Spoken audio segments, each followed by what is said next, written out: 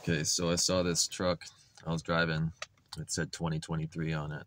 I was like, oh yeah, 2023. I like those numbers. And then I realized like, oh, it's it's actually 2024.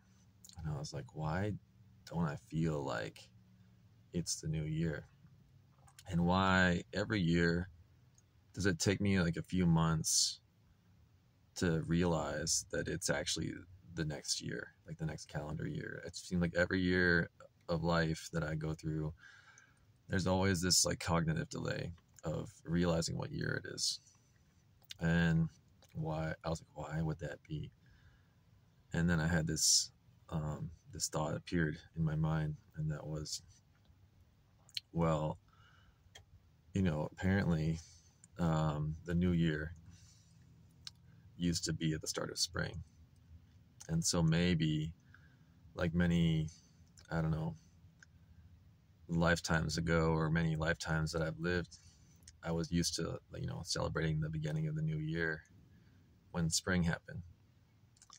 And then I was thinking, like, why, like, what's the value of having New Year in the middle of the winter? Like, things haven't actually come to an end yet. Like, you're expecting there to be a new beginning, but there's no new beginning in the middle of winter. Like, you're literally still experiencing the end.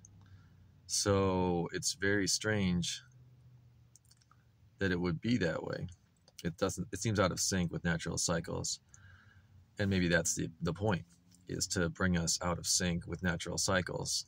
So now I was thinking like all this energy of like New Year manifestation is sort of like squandered at this time when things are still contracting.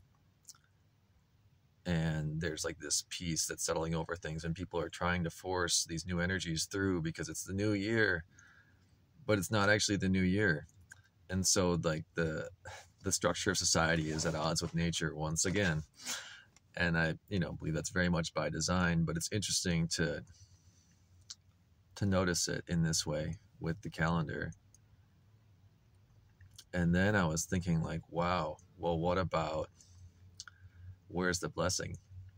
So the blessing is that by doing that like the whole goal if the goal is to like fuck with humanity then like we adapted so we became capable of initiating great changes like during a time of extreme contraction so what that means is that even though it's winter we're capable of stepping up and initiating a change just through our will, like through our collective will, and like creating a new year that's separate from the actual new year. So I'm saying the actual new year, you know, it's when nature decides. And then our new year is arbitrary, but we're, we're capable of bringing those energies forth through our collective will. And that is what allows us to avert an apocalypse or a Ragnarok or the end of the world. Like I just see it in this beautiful way as like like things are going along a certain way according to a certain design. And you know there's there's nature's design and then there's this arbitrary one that we've overlaid it with but our ability to adapt to the arbitrary design of interruption of disruption of forcing growth during a time of stagnation or contraction. It has enabled us to disrupt the flow of that intention. So it's sort of like like a mirror. Like the thing that is used to keep us down becomes the thing that allows us to free ourselves.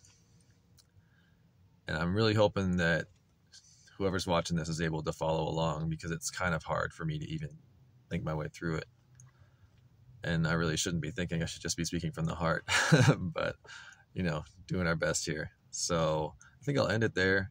Um, thanks for watching.